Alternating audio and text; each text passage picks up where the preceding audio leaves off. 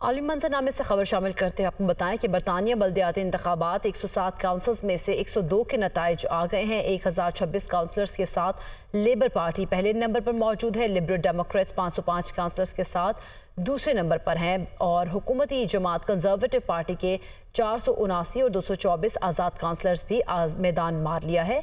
बरतानवी वजी अजम ऋषि सोनिक भी नतज से मायूस हैं। कहते हैं, मेहनती और काम करने वाले काउंसलर खोना अफसोस की बात है, जबकि Labour Party leader sir Keir Starmer ने कहा है कि नतज से कंजर्वेटिव पार्टी को वाज पैगाम मिला है।